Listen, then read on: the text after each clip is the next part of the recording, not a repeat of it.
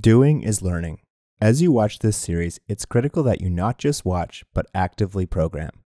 If you're trying to learn how to ski, you could watch all the videos, read all the books. You still won't be able to do it until you put some skis on and fall a few times.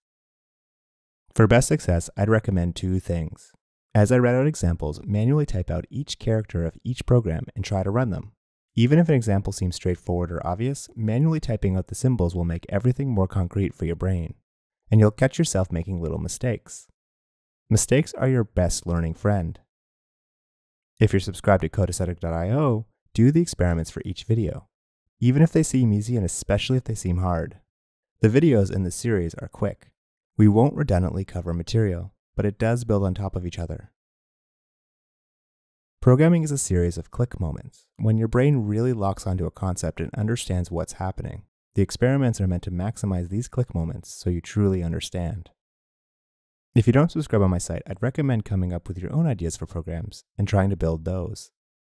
Either way, you should build at least one thing for each video. So, how do we get started?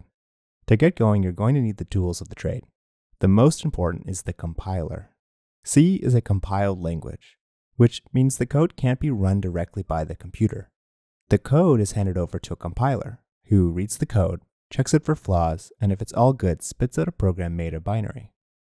The binary is what can be fed into the computer to be run. So we'll need to get you access to a C compiler.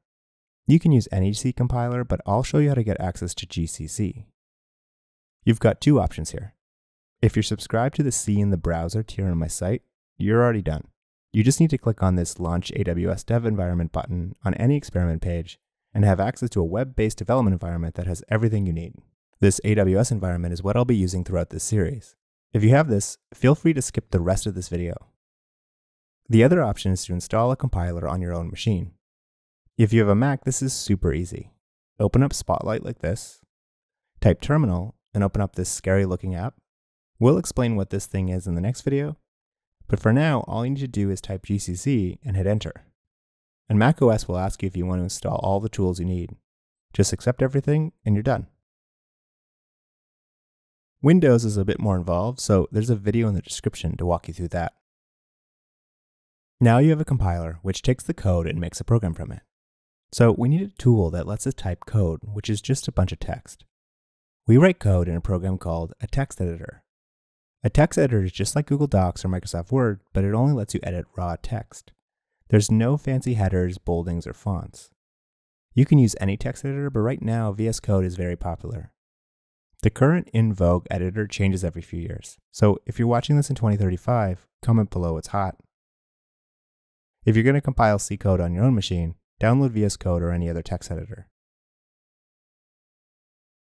If you have the in-browser AWS environment, there's a text editor built in, so you can skip this. Now you have everything you need. The instructions in this video will go out of date as this video ages. So in addition to this video, you can go to codeaesthetic.io slash malloc slash tools to find written instructions which I'll keep up to date. Next, we'll cover the terminal.